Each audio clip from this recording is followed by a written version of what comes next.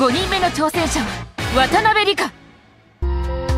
高いところが苦手な理香。スタジオでもこんなことを。普通の公園にあるブランコもちょっと苦手です。練習でははしごを登るだけで。少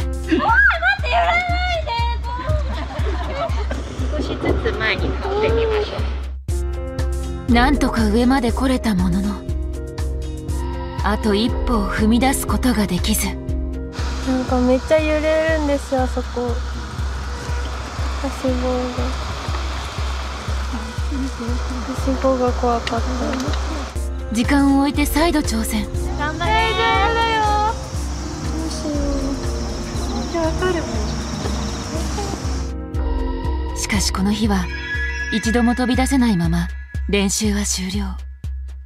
飛べなくてすごい悔しくてみんなの頑張りを見て、うん、私も絶対に成功させたいなって。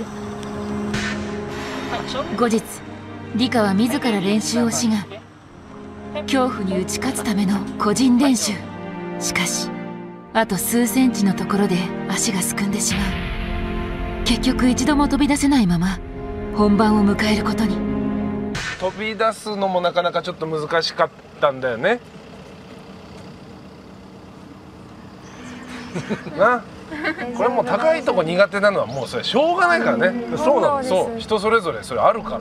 今日理科行けるところまで頑張れるところまでやってみる？はい、うん。そうだね。じゃあそれやってみよう。よし。行ってみよう。いつもだったらすぐ諦めてしまっていたけど3枚目シングルを届けたいっていう思いがあるので自分の恐怖心に打ち勝って、うん、頑張りたいと思いました。あー怖い。大丈夫だよそれでは理科の挑戦です。お願いしますでも本当に練習の時も、もうずっと1時間ぐらいずっと上にいて、一旦長すぎるからやめようっていうのを何回もやってて、わかるわ。ずーっと力入っちゃってるでしょ上にいそうなんる時ですよ。ねでもやめるって聞かれても絶対棒を離さないのであ本当に飛びたいっていう気持ちと責任感をすごい感じてるんですけど。大丈夫だよ。あ怖いなあれ話すわかるよ。出てる。大丈夫すごいすごい本当何回かしか両手で掴んだそうかことないこの体勢に来るまでもこれがすごい